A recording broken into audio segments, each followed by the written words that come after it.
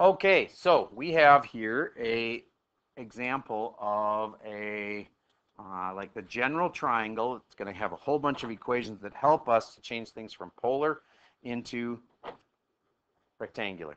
So let's get some more equations. JW. Start with this one, would please. Sine theta.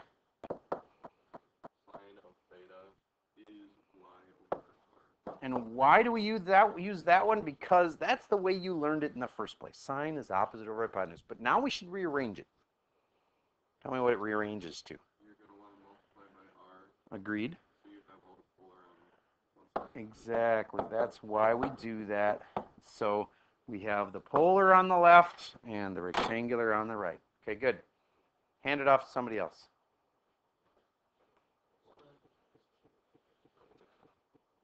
Uh, give me another one. That was sine. Give me another one. Yes, that counts as two.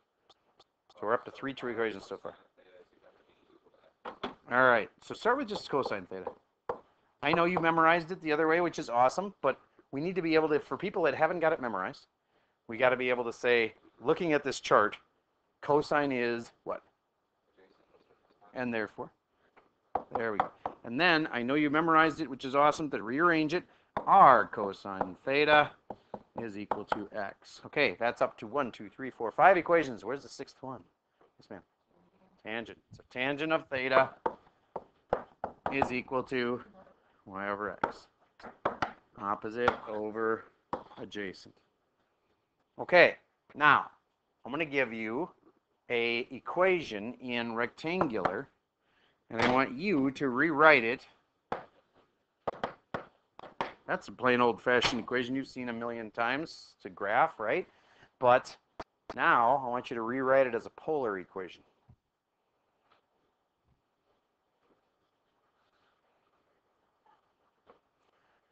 There's two different ways you could do it, and one's easy and one's hard.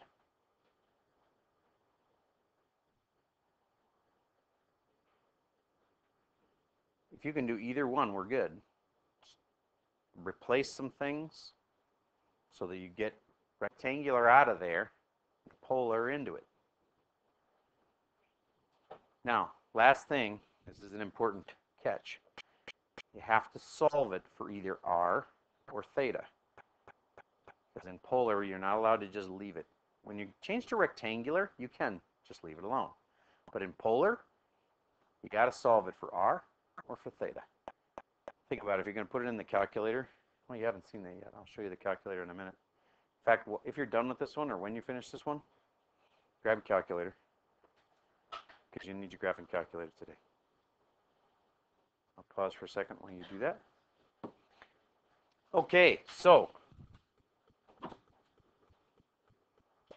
did you replace the y with r sine theta? It works, it's the hard way, but it works. And replace the x with r cosine theta. Okay, nothing wrong with doing it that way. It works, but you got to get it solved, and that's what makes it more difficult from here. Otherwise, if you just had to get r's and thetas in it, you'd be done. So, what I would do is in one fell swoop, you can change this thing by dividing both sides by r cosine theta. r cosine theta. The r's cancel. That all cancels. And sine over cosine changes to one function, which is a really good thing. Tangent of theta equals 3. Who's got a better way that would have gotten it to that? I'm still not done, by the way. I have to do inverse tangent to finish, but better way, yes, sir. Yeah, divided by x. And why is that good? Because that's tangent. It Says so right here. So you could have replaced this with tangent then and had tangent equals 3. Either way, tangent of theta is equal to 3. So how do I fix it? What do you mean fix it? Theta is not alone. So I'm going to put it to the inverse tan on both sides. And that's going to cancel this. Theta is inverse tangent of 3. Okay. That is polar solved for theta. All right. Let's give you another one. This is just a point, and I want to change it. Change this point, 2 comma pi, into rectangular. That's polar. Change it to rectangular.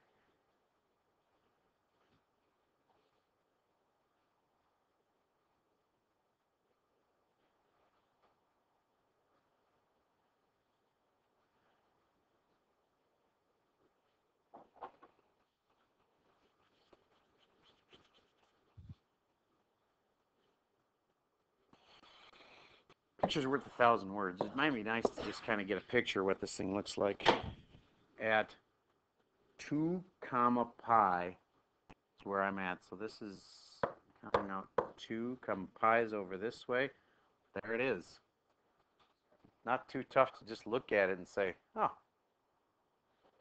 It looks to me like it's negative 2 comma 0.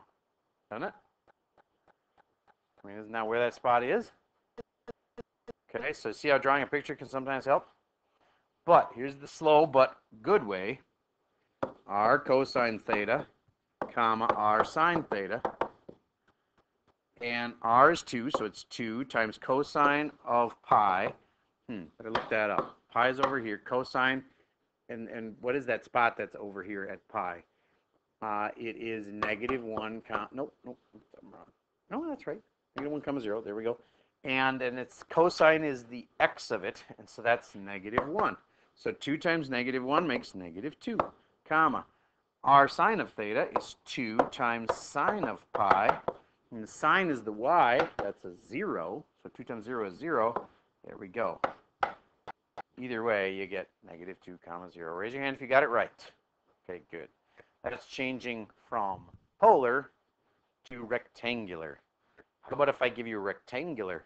Can you change to polar? See if you can. 1 comma 1. Remember, that's rectangular now.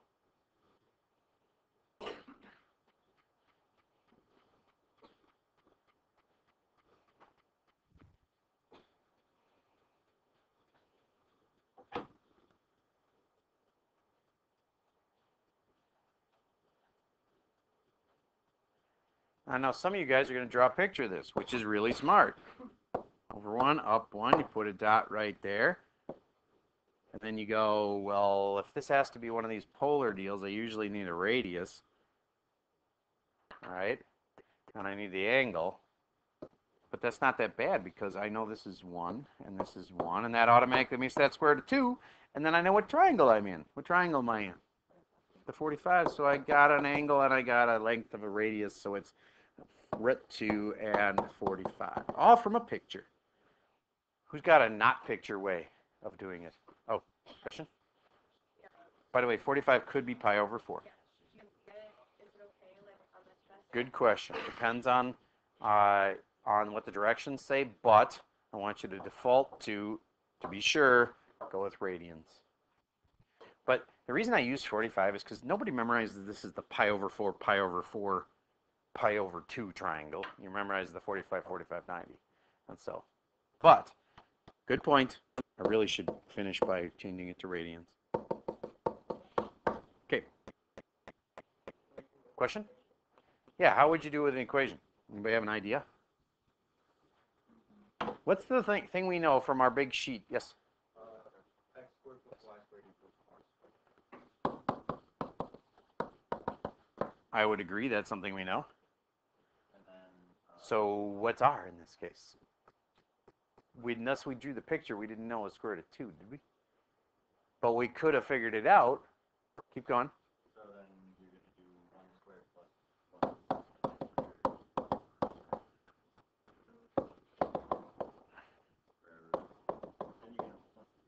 can You're right. But remember with polar, hmm, you can have a negative radius in polar. So, but I'm going to just say, in this case, we'll say the negative's extraneous. Kind of cheating, but okay. So then r equals square root of 2. That's cool. We get the square root of 2 part. Now how are we going to get the angle?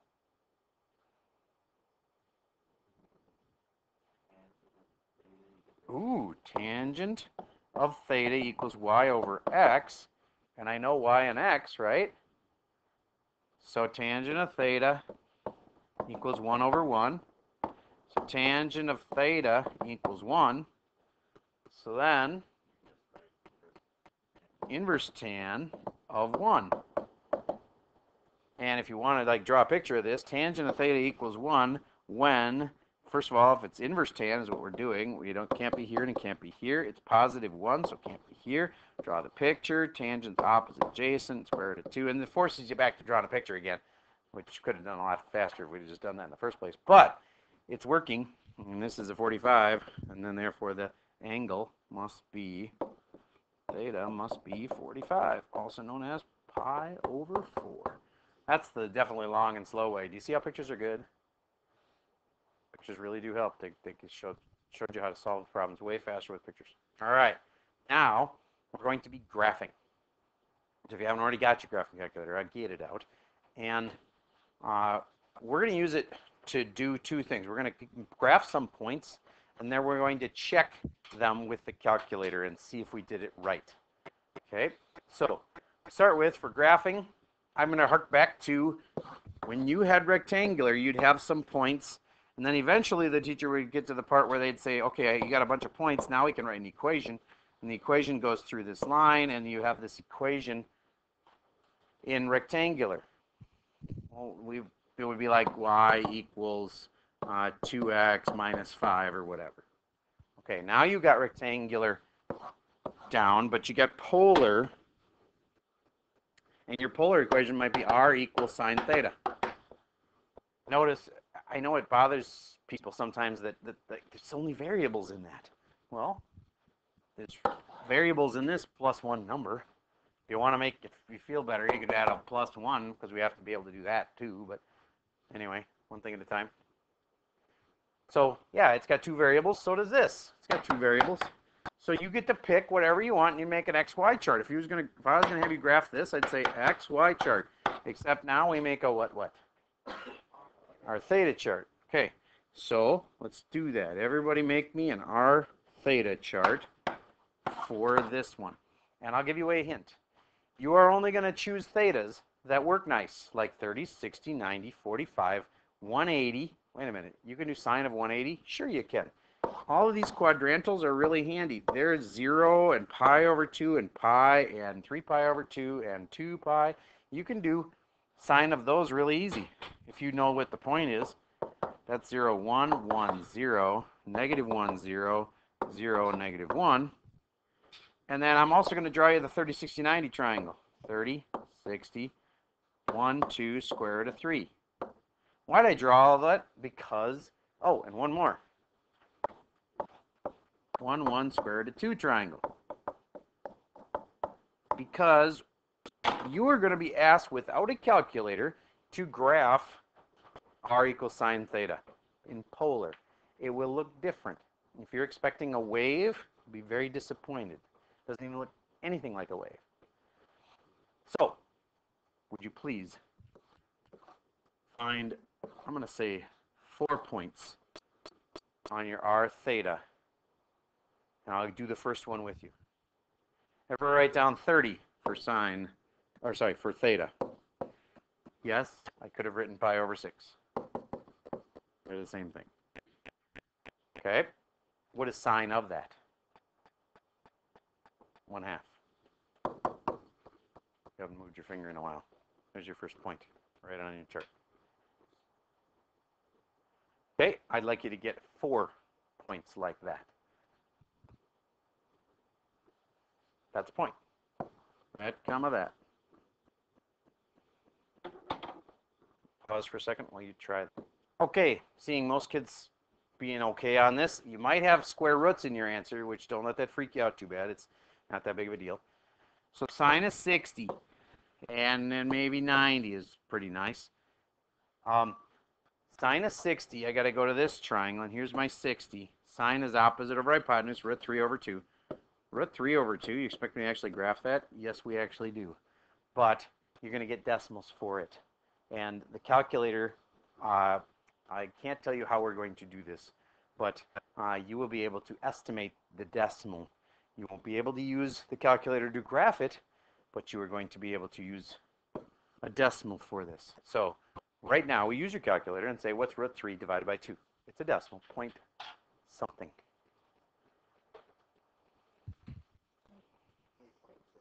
Point eight six. All right. Point eight seven if you're going to round it. Okay.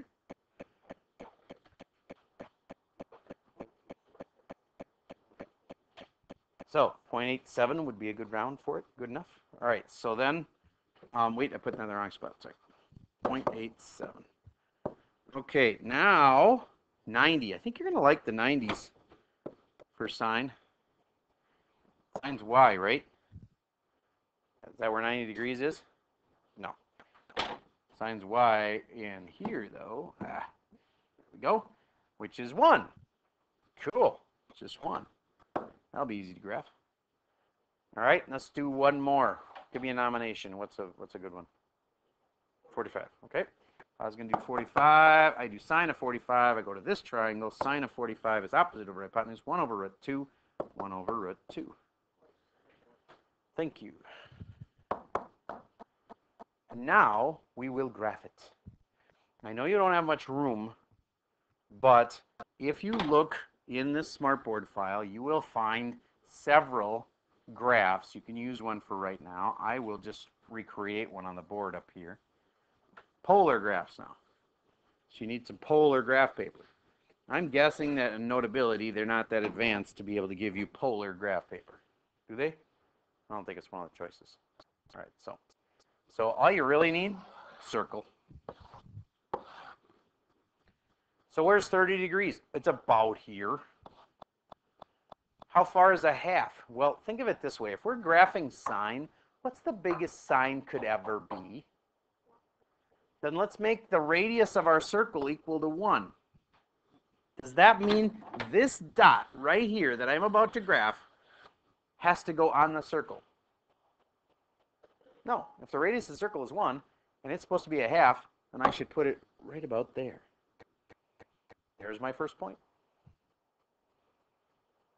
I went out a half. If this is a total of 1 out here, then this is a half. And this is supposed to be a 30 degree angle. I don't know if I did a great 30 degree angle, but it's good enough. Okay. What? You do not have to write in all that. We want to keep your graphs nice and clean. Um, so the next one's 60. I'm going to say that that's about a 60 degree angle. And then about 0.87, well, remember, 1's here. I'm not putting it there. 0.87 is like a little less than 1, so maybe up there. Keep going. 90. That's straight up and down. That's right here. Pi over 2, also known as 90. And I'll put a dot right here at 1 because that's this point right here. I'll take a guess if that's the pattern. Kind of picture where it's going to go next. It went like this. Yep, it's got to go back down again, right? Does sine, all students take calc, does sine stay positive in that next quadrant? Yes, the numbers will stay positive. Does it get smaller and smaller as you get closer and closer to pi? Here's a graph of normal sine. It goes like this, right? And here's pi over 2. I don't know. Here's pi. Sorry. That's where pi is. This is 2 pi. So between 0 and pi over 2, sine's rising. Now sine's going to be falling again. Do you get how it's going to be falling again?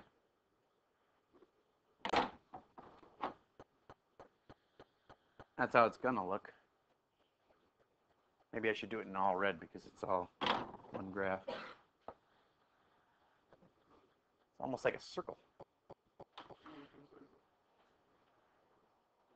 All right. Now what you'd expect for graphing sine, but you're using polar. Polar is totally different. Now the graphs are going to look. Let's check it. Well, let's do one more point then. Something bigger than 90 we could do. 120. 120 is a good call. Because this is 30, 60, 90, 120. Okay, 120 is going to really depend on this triangle, which is a 30, 60, 90 triangle. So it's really like doing 60 again. So 120 is going to revert back to basically, once you draw the picture of it and you realize where you are, you'll say, oh, it's basically this again, so it's basically that again, and it is. So then it's right here. So here's my points. And the last point's going to be at uh, 150 degrees, also known as a reference angle of 30 degrees. So you're going to get that one half again. And when it's all said and done, it makes that shape. Now let's actually go look at that on the graphs. Everybody grab your graphing calculator and type in, first of all, the mode. Everybody get to mode. And within mode, you have to choose the first time you're probably, your calculator's ever been in polar mode. Unless some of you have been playing with it. Okay? I don't know, do you do polar in any other classes? Okay. Ah, it's true. Uh, good question. Do you want to be in radians? Yes, be in radians. And polar, all right? So once you're in polar and radians, you get y equals, and now it says r equals. Type in sine theta. Theta is, where the x key is. See how it says x, t, theta, and n? It automatically self-selects to theta when you, it knows it's in polar mode. Hit graph, and there's your graph. It's really small. Could you zoom in on it? Sure. You can do a zoom box if you want to. I like the Z box. When you want to see Z graph better, you use Z box.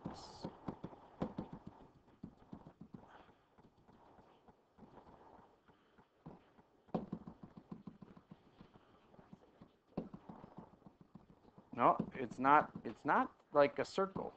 It's a little different than that. Now it looks a lot like a circle because now I stretched it. Because when I did my zoom box, the way I zoomed it in made it look like a circle. Okay. Well, let's have some fun with this thing now for a second. I'm going to give you one that's one of my favorites. And eventually, if you, buy, we're going to do a lab based on this thing, but I'm not going to do it till Friday. By then, maybe we should correct tides lab. Anyway. 8 sine. Ready? Now just say 8 sine of theta and graph that once, and, and you'll see something.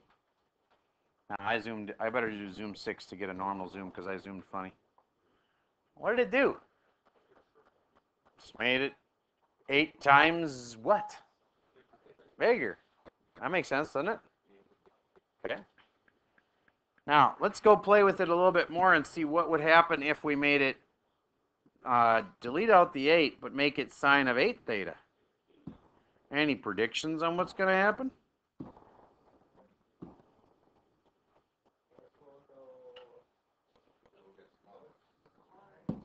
Well, here's what it does. Expect that one? That's crazy. Oh, whoa. Didn't see that one coming, did you?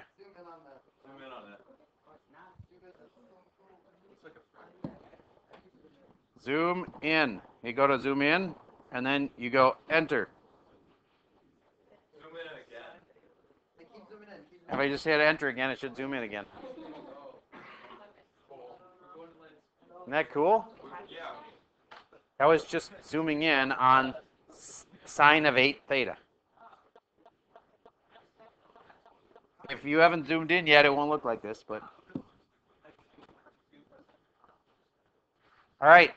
Now here's one of my favorite ones. I call it the bug. 8 sine of cosine of tangent. 8 sine of cosine of tangent. You have to have a theta or it won't work.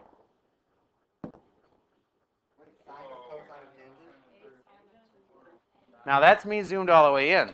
But watch when you zoom back out, zoom six. It's a bug. What was that equation? Eight sine cosine tangent of theta. All right, go to zoom six. I did. It's just like an old calculator that I could. Mm, Look at this.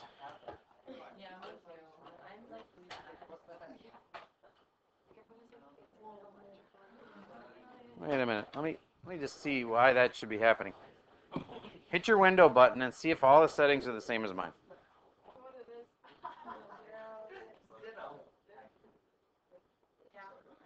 Okay, and go to your y equals and make sure you have 8 sine parentheses, not sine times.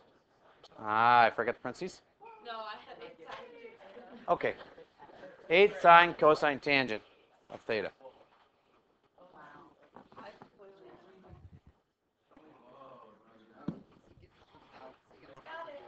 Okay.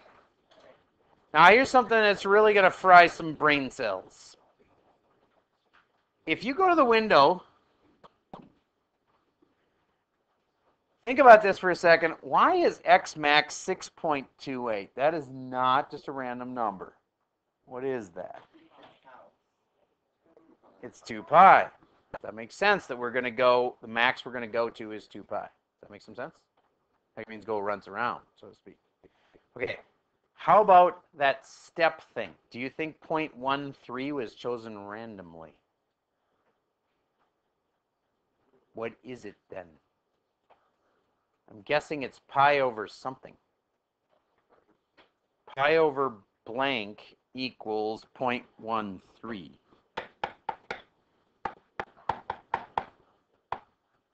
Is it pi over 12?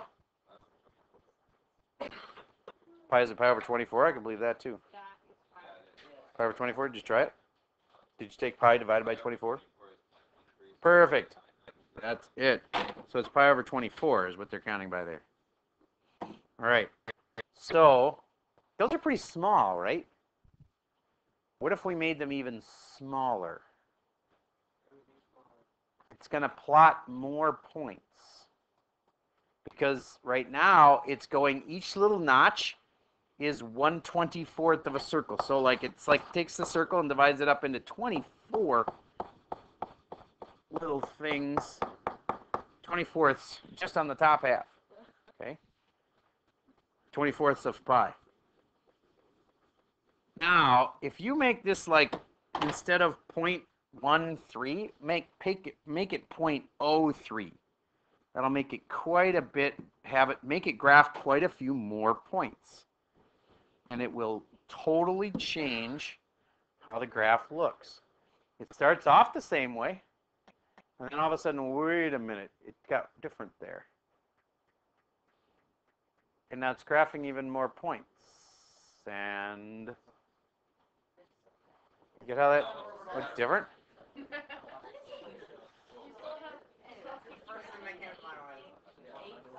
What did you think? What? Okay.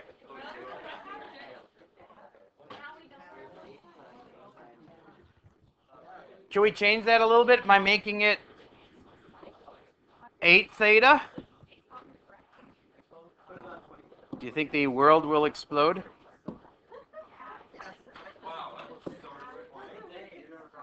And then I'll go to zoom 6.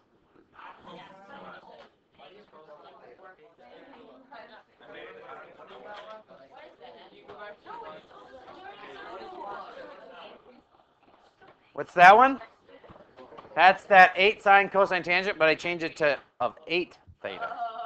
This is amazing. What did you make? Let's see. I said it's 200 theta. Oh, cool. So that was under. What was that? Eight sine cosine tangent 200 theta. Oh, okay. So you just changed the 8 to 200. Oh wow, like the color.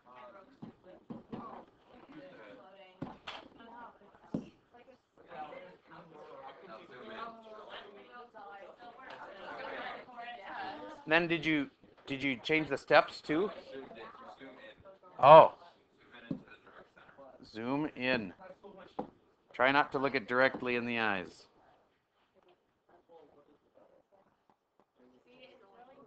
Ooh, that is pretty cool.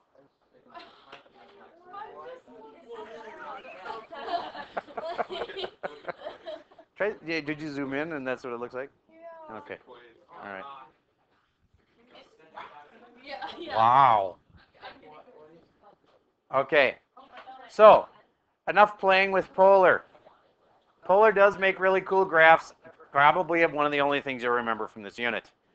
Um, but honestly, if you can remember this big triangle and the six things that come out of it, X, Y, R, and if you can remember how to change graphs from polar to rectangular, that's that would be cool that you could remember things like x squared plus y squared is equal to r squared, and therefore wherever you see an r squared, you can replace it with an x squared plus y squared. And e- probably even like more basic, if you can remember that x is r cosine theta and y is r sine theta, that would be really helpful to know for polar because you got to do now for the more advanced stuff you got to be able to make graphs and make xy charts. We did that already once. Well let's make a little more complicated one. What if it was 2 sine not y r equals this is polar 2 sine theta minus 1 make me an xy chart for that.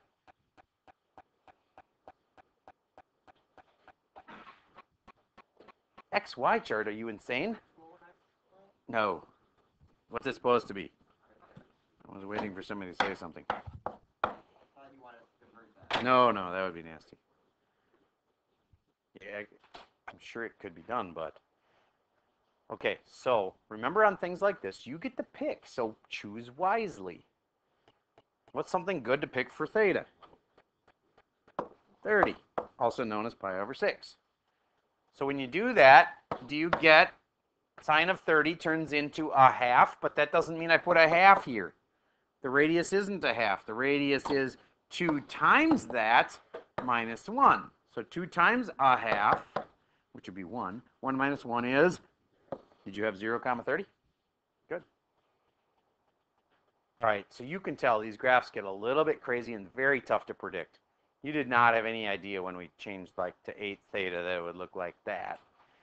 So it's very tough to predict these graphs and say, oh, I can know what that would look like in polar. You just have to plot some points and see what happens.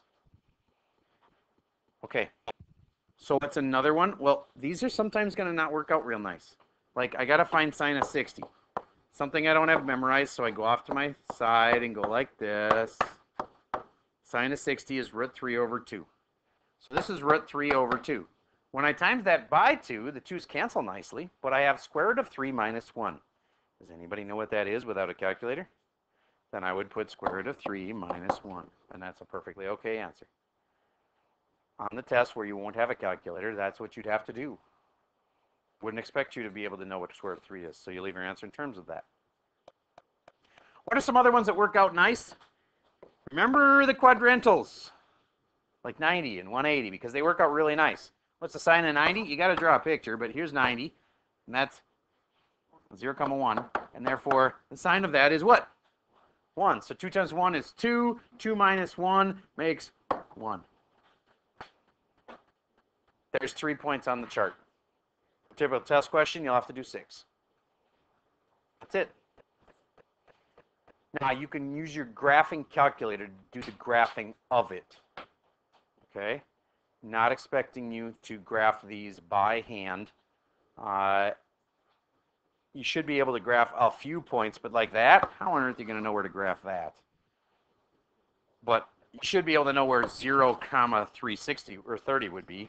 0, a radius is just always at the origin and 190, should know that that's here. All right, so let's look at your homework together. Everybody find the file 16.3.